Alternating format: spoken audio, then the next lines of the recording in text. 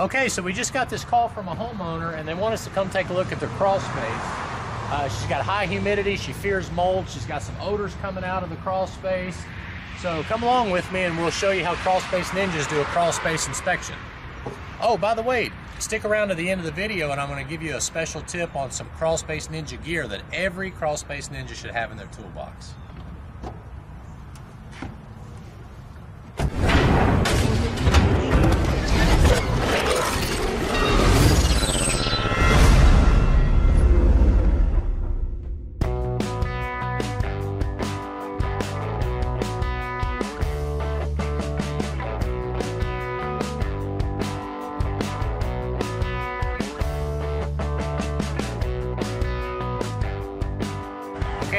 Got to the house that we're going to take a look at, so I'm going to put my gear on and we'll jump in the crawl.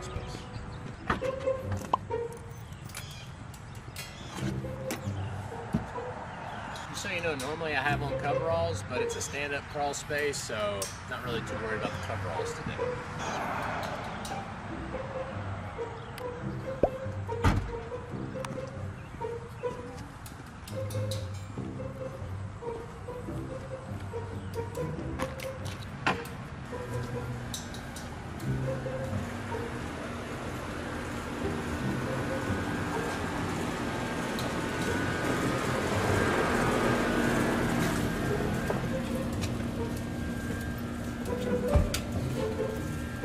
So this is a unique crawl space because it has this pad here for their HVAC and their uh, water heater to sit on.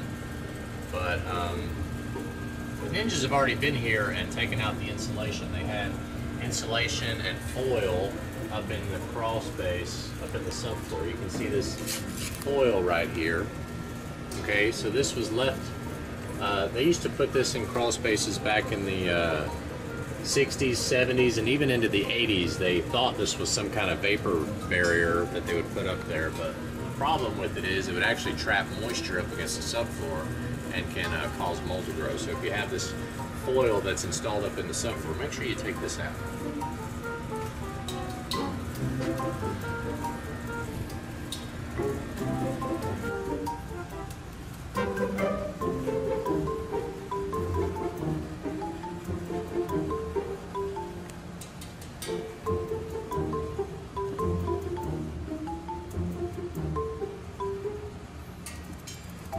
Okay, so I want to show you this that I just found. Basically, it was kind of hard to see the subfloor because of all the fiberglass insulation, but now you can see that we've got some mold growing up in the subfloor, and maybe that's a better way for you to see. You see all that white uh, raised mold on the subfloor and the joist, so we're going to soda blast all of that off. Um, that way it, it'll be almost like a new piece of wood. If you come over to this side, uh, you can see more over here. And a lot of times what you'll find is that around a heating and air duct, you'll see more mold uh, because the heating and air system is condensating more in this area around the duct and especially around the trunk line. So as you can see, as you go a little bit further away from this, you have less and then here here's some more. So this just popped up here, but a lot, most of the time if you look, if you pay attention, you'll see more mold and more wetness around the duct system. One other thing I want to show you is this right here. That's not mold. That's cricket poop. It's amazing that that cannot come off with a soda blaster. So if you see this in your crawl space, don't be concerned. I don't know if the cave crickets like drill a hole, poop in it, and then cover it up, but that stuff won't come off. It's amazing. It's sticky. NASA needs to figure out what to use that for because it's amazing. Then you got more mold over here. See all this? More cricket poop. If you got a lot of cricket poop in your crawl space, you probably got a lot of moisture in your crawl space. Look at all that back in there. There's some of that foil I was talking about. So we're going to remove that foil up there in the subfloor, make sure that the dehumidifier dries all that out as well. I'm going to show you the dehumidifier we've got running. This is the Aprilaire 1830. Uh, this bad boy will do up to about a 2,200 square foot crawl space. Um, just workhorse. Pulls moisture out, moves about 70 to 75 pints a day. If you got a bigger crawl space than that, you want to go with the Aprilaire 1850. Great, great dehumidifier. We've got it sitting up on blocks drains into the condensate pump right here. And then the condensate pump pumps the moisture out of the crawl space. Now, we're going to trench and sump pump this crawl space because they have some standing water coming in. We're also going to put down an underlayment.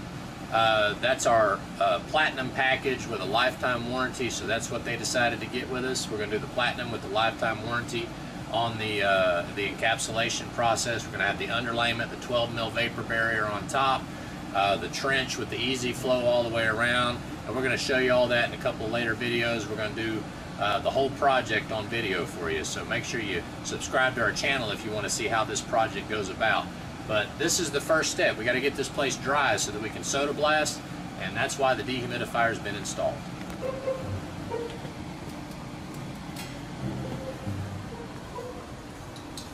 Okay, so this is our R10 termite resistant foam board. We install this foam board with a Hilti EIFS nail. As you can see, it's a two and a quarter inch thick foam board. It's okay to get wet. That's the nice thing about this product is that it's okay to be up against the foundation. You can even have it touching the ground. It's not gonna uh, cause any issues with termites or be damaged by any kind of moisture, unlike fiberglass insulation or rock wool insulation. If it gets wet, it has to be removed. Great product, got a 50 year R value warranty on it. And we also use the foam board right here uh, to uh, seal up the vents.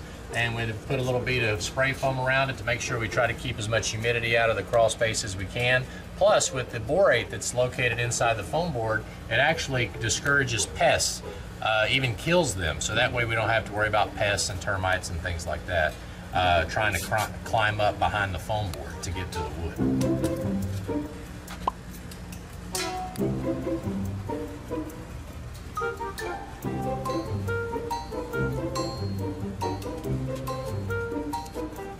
Couple other things I want to show you. If you look right here, we've got some uh, penetrations coming through the subfloor. You want to make sure if you've got any major penetrations like this that you air seal them with the spray foam. If you use the great stuff that is located at Home Depot and Lowe's, if you're inverted like this and you're trying to spray it up here, it'll actually fall on you because it doesn't stick real good. Uh, so we use the uh, FOAMO product by ICP. Uh, so it's a really good product. It, once you put it in, it expands real nice. We also use it to seal our vents. We don't have to worry about it falling on us because if this stuff gets stuck in your arm hair, it doesn't come out. You got to rip it out or cut it out. So great product available on our DIY page.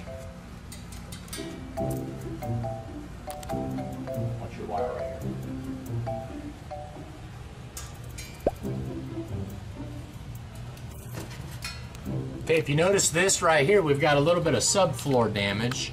Uh, this is the front of the house. They were getting some moisture coming in. There's actually a really uh, high traffic road in front of the house, so the, the moisture slopes really nice. So the ground slopes really good towards the house. So that's partly why they have this uh, painted right here too. So they were trying to stop the moisture by painting the cinder block and it didn't work.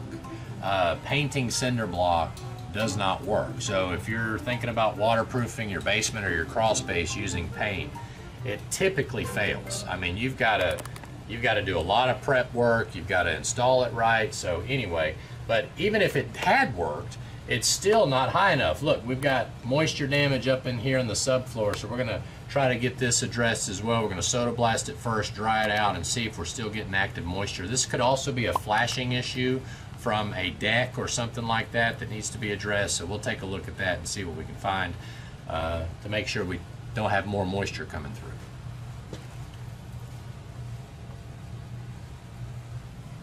Okay, now you can see we got a little bit of raised fungus, mold, whatever you want to call it, right here off the joist. The other thing I want you to notice is look how the discoloration is from here down. It's because the fiberglass was up here. So it was kind of keeping a little bit of that from creeping up, but it still uh, holds moisture up against the wood. So we had more mold growth down at the bottom than we do at the top. So we had to remove all that fiberglass in order to uh, soda blast all of this. One other thing I want you to notice in this corner, this is the area that has the most water penetration. Do you see the water marks in the uh, far corner? It was kind of hard to see because we had foam board covering it. But this is where most of the moisture was coming in. You can see the ground's pretty wet. So we're gonna trench all of this, put a sump pump in, make sure in the future when it rains, if water's coming through the foundation that we are uh, redirecting that water to our easy uh, through our easy flow pipe into the Flotec half horse sump pump. By the way, there's a great unboxing video about that uh, Flotec sump pump. If you want to check it out, here's what that video looks like. So let's see what else we can find. Okay, so they installed these 4x4 posts to help support the uh, foundation. Okay, they, they put these nice pillars and all that. Um, these are pressure treated, which is okay to be touching the ground as long as they are pressure treated. Uh, there's some pressure treated wood that is okay to be touching the ground and then there's some that isn't. So you want to make sure you uh, get the right kind. But typically with this type of install, we would use a post jack sitting on top of a, uh, a poured footer. As you can see, this is going directly into the ground. So uh, if there was any kind of weight on this, it's not really doing a whole lot of good because the ground is going to give way. So they didn't really install this properly. Uh, and you never ever want to have any wood touching the soil if it's not pressure treated or designed for soil contact. So make sure that if you're doing something like this with a with a post jack or whatever, if you're allowing it to touch the soil, make sure it's pressure treated. If you've got wood in your crawl space that's going from the subfloor to the ground that is not pressure treated, you need to remove it because it's a great way for termites to move up into your house.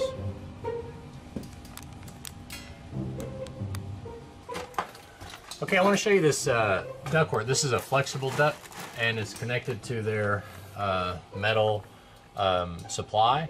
And the only thing I want to point out is it looks like this ductwork has been done properly, but it's a little misleading because they taped it up really nice on the outside, but the most important thing is did they actually air seal it where the uh, metal of the flex duct touches the metal of, of the supply. So if you want to know that, you've got to take the tape off and kind of move the insulation back and make sure those tabs are air seal. There's a collar right here that they install on this. So if, if you're concerned about your energy, maybe you feel like you're uh, burning a little bit too much AC and heat, uh, you might want to check this area because they estimate 25% of your AC and heat is lost in the crawl space because of leakage.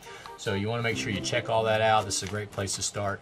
Uh, if you got a solid duct, there's actually about every uh, 12 to 18 inches there's a collar that you're supposed to do but this one the only place you have to make sure it's air sealed is at the boot where it goes into the house and then here where it touches the supply line. So those are the two air seal points of a flex duct. One of the reasons why I wanted to come here today is see how the uh, the crawl space is actually drying up how it's progressing along to make sure we can soda blast it. So I got my meter here and we're going to put it on the, uh, the wood and it says it's about 14%, which is pretty good. Um, I think when we were here before, uh, before we removed the insulation, it was about 19-20%. So it is drying out in spite of us not having a vapor barrier installed, the dehumidifier is strong enough to dry out the wood. Once we get the vapor barrier installed, it's going to be much better, but this is just part of our process. So the subfloor itself is around 10%, so that's really good. So we are low enough moisture-wise to go ahead and start addressing the mold. Okay, so this is the Lamanco PCV1 foundation vent fan, and we put this in to put the crawl space under negative pressure because in our part of the country, uh, we have a lot of radon around here. So according to the Environmental Protection Agency, you are supposed to remove one cubic feet of air per minute for every 50 square feet of crawl space, and this basically we'll do about a 5,500 square foot crawl space based on that calculation. Now we don't leave it hooked up to uh, an extension cord. We're still in the uh, in the process of making this uh, platinum package uh, ready for the homeowner so that they have a dry, clean, healthy, and efficient crawl space. So we just temporarily hooked it up so that we're already removing the soil gases because we sealed all of the other vents except this one. This is the one that's going to blow the air out while the dehumidifier over there in the corner dries up the crawl space. So if you're concerned about soil gases and radon, this is a great addition to your crawl space. All right, let's look at this. Okay, one last thing I wanted to show you. I talked about air sealing the uh, the boot. Basically, is the uh, little metal piece that they use to go uh, through the subfloor into the house. Your register sits on top of it but I want you to notice that we're air sealed around the boot. Uh, that is to uh, uh, for energy efficiency, but also to help keep the soda from going up into the house. So uh, that's another energy efficient tip for you in the crawl space is even whether you're soda blasting or not, if you'll just spray foam around this boot, it keeps the crawl space air from going up into the living space or vice versa. Okay, I wanted to show you a rim joist. Some people call it a band board. Uh, depends on what part of the country you're in. The only piece of pressure treated wood in most crawl spaces is this piece right here. This is called the sill plate, S-I-L-L plate. This piece sits on the cinder block and it's pressure treated and then all the other wood in the in the house sits on top of it. So this is where the weight of the house sits uh, along the foundation wall.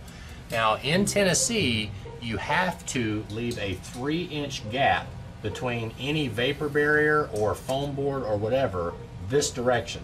So our vapor barrier will stop right about here because the state requires that we give the termite people a viewable area to make sure that there's not termite tunnels going to the sill plate. That's why you have to leave this gap.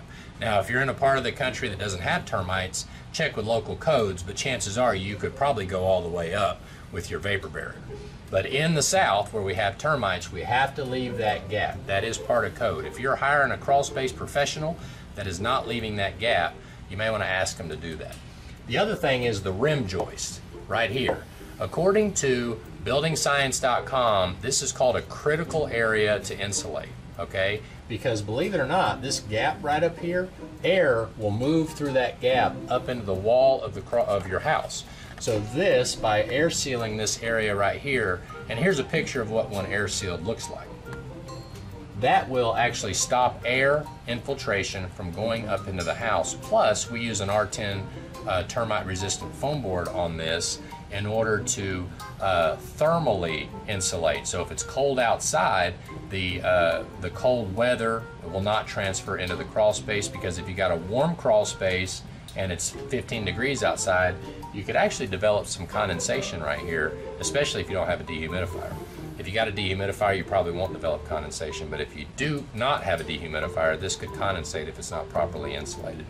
So anyway, there's your rim joist, your sill plate, your subfloor, and then the three inch termite gap right here. Okay, now I'm going to show you the door. Now, this is a great door. Not all the crawl spaces we do are this tall. Normally they're this tall.